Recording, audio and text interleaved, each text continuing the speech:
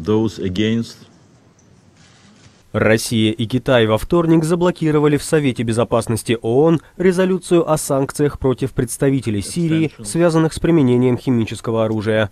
Против также проголосовала Боливия, воздержались Эфиопия, Египет и Казахстан.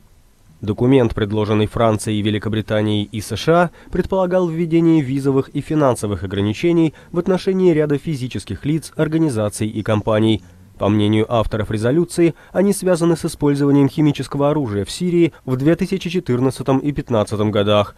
Кроме того, пакет мер предполагал запрет на поставку оружия сирийским вооруженным силам.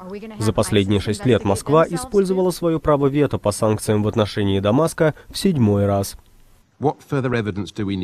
Какие еще нужны доказательства того, что Россия всегда будет отдавать предпочтение режиму Асада, а не защите сирийского народа? Сегодня мы поняли, что они готовы пасть еще ниже, что для них важнее прикрыть спину Асаду, чем предотвратить применение химического оружия.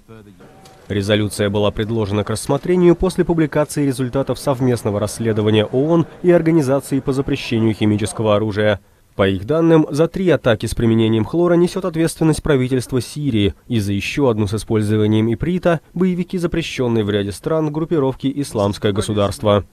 По мнению России и Китая, представленные в расследовании факты неубедительны, а расследованием случаев применения химоружия должно заниматься сирийское правительство.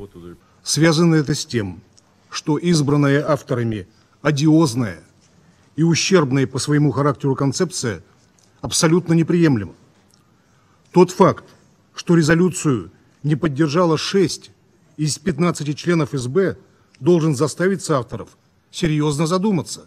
Президент России Владимир Путин назвал санкции в отношении сирийского руководства неуместными. По его мнению, эта цитата не помогло бы переговорному процессу, а только помешала бы или подрывала доверие.